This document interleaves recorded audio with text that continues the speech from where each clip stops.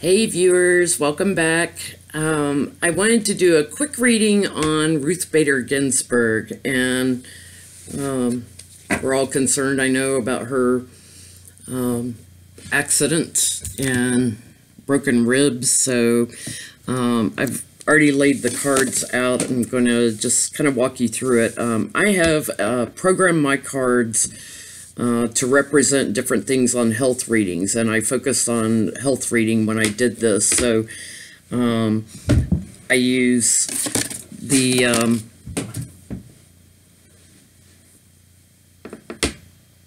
wands represent skeletal system. Um, swords can represent the central nervous system. Cups can uh, represent organs and pentacles represent blood or uh, issues with the blood. So um, not every card that shows up in a reading when I do this means there's a problem in that area.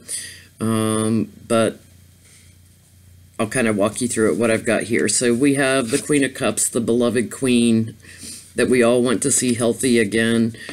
Um, in the past section, I have the fool, you know, it's it's the person that takes a leap of faith, but in this case, she took a a leap and fell off the cliff.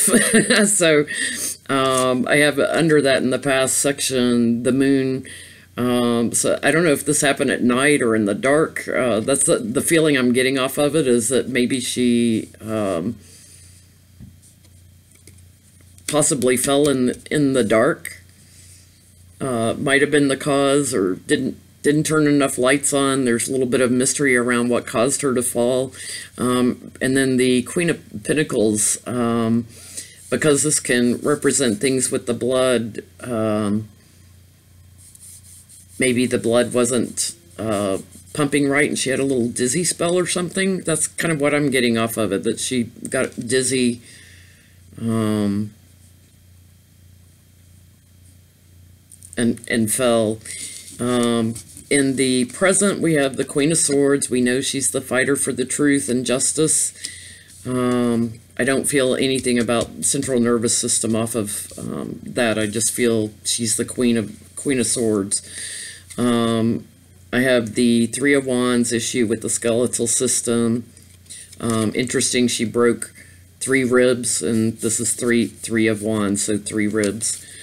Um, and then uh, Eight of Cups, um, temporarily she's walked away, you know, from her job, um, laid up. In the future, overcoming the obstacles with the skeletal system. Um, and we have um, the Ace of Swords, um, the power behind her. Um, she's got a she's got a lot of strength and energy. And then I have the Hierophant. She's going to be back at the court, guys. She's coming back. We haven't we haven't lost our uh, beloved Ruth Bader Ginsburg. Um, and I laid one final card, the Page of Swords. Um, she uh, maybe weakened a little bit from the Queen to a page. uh, you know, not not quite 100%, but uh, she's going to be back um, we have the Hierophant. It's the final final outcome in the future. She's going to be back. So rest easy, guys, and prayers for healing for her. And uh, we'll just keep her surrounded by uh, healing angel energy. Uh, I've already asked Archangel Raphael and Archangel Michael to assist her in her healing um, and see if we can't get her back on our court system. And um, I don't, you know, she's she's temporarily temporarily walked away. Um, I feel like you know Trump would love it if she left, uh, but she's not leaving. She's not going anywhere. She's coming back, guys. Um, and she's she's got the power to do it.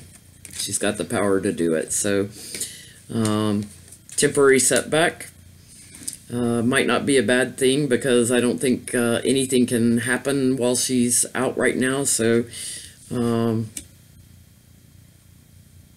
yeah, she's she's coming back. Uh, she may come back uh, even more energized, um, showing up as a younger card she may come back uh, more energized here. So fingers crossed she's going to be better. Hopefully I'm right on this one, but uh, we'll see.